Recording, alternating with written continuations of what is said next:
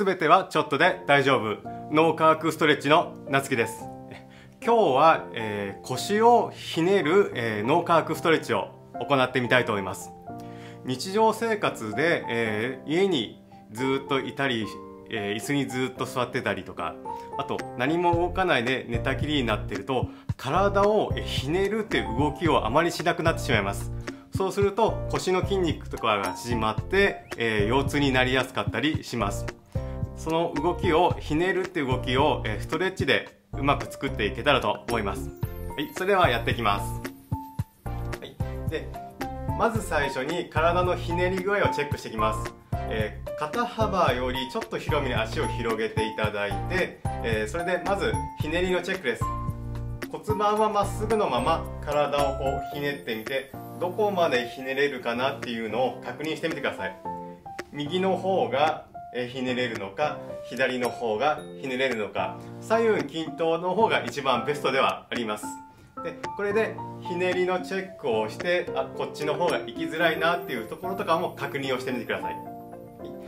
で確認ができましたら、えー、今度は壁を背にして同じ風に肩幅よりちょっと広めに立っていただいて、えー、次は何をするかというとこっから、えー、体をひねって壁にタッチして寄りかかります。でこの時のポイント一個一個やっていきたいと思います。まず、えー、ひねる時に体を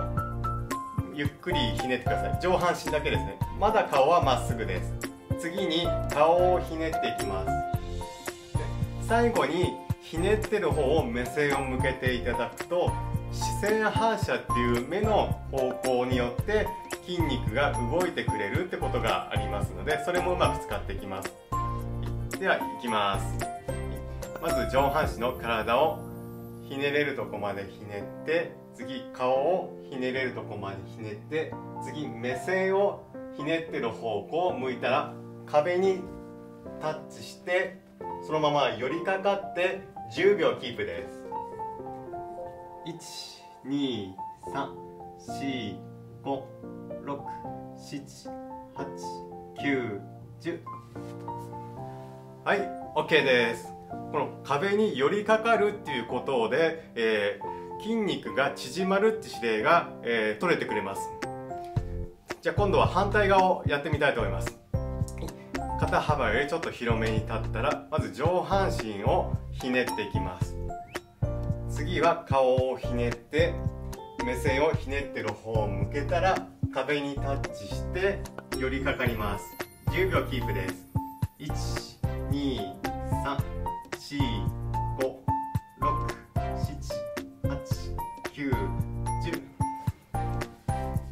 はい OK ですね、このやっぱ寄りかかるってことをすることによって脳が安心して筋肉を緩めてくれるっていうのも一つなんですけど今順番にひねってきましたね。上半身顔目線っていう形。いっぺんにひねっちゃうと、え脳の方が、えどこをひねってるかっていうのが分からなくなってしまうので人間のパーツっていっぱいあります。なので大きく分けて体顔目線という形で一個一個ひねるところを、えー、やってあげるとイメージが入りやすくなります。人間の脳のイメージは1個ずつしか入らないのでできるだけ分かりやすいところを1個1個ひねってあげるとひねりが大きくなってくれるということが起こります。で今のがベーシックになるんですけどこれ体が硬くてひねれない方は、えー、ここから壁に対してまっすぐ立つんではなくてちょっと斜めに立ってください。で斜めに立ったところから同じ風に行います、はい、ではやってみたいと思います。少し斜めに立って同じです体をひねって顔をひねって目線をひねってる方を向いて壁にタッチして10秒キープです。12345678910はい。OK です。では反対側をやってみます。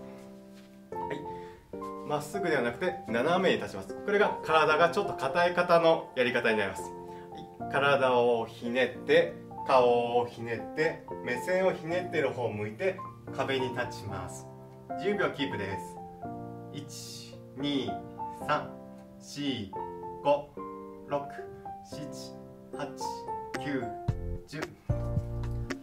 はい OK です。でこの時に、えー、しっかり寄りかかってください。寄りかからないと力ずくで耐えてしまいますんで寄りかかって力を抜くっていうことを行ってきますで,、えー、できるだけ家の中でひねり動作がなくなりますんで、えー、家の中だとできれば朝晩っていう形で、えー、片方2セットずつ10秒2セットぜひ毎日行ってみてくださいそれでは、えー、ぜひ、えー、いいねボタンと、えー、チャンネル登録よろしくお願いします。